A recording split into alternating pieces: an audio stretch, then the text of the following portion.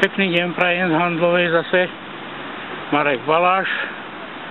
Čo vám chcem ukázať, už som raz ukazoval, ale teraz je to ešte krajšie, ako to bolo predtým. Pozrite sa tento Ficov a Smerácky billboard. Krásne niečo. Tak toto je ľudová tvorivosť. A toto je aj skutočný občiansky a ľudový názor na to, čo robí smer pre občanov. Čo robia vôbec všetci politici pre občanov. Ale napriek tomu tí občania ho zvolia. A budú tých politikov voliť dokola, aby pre nich stále hovno robili.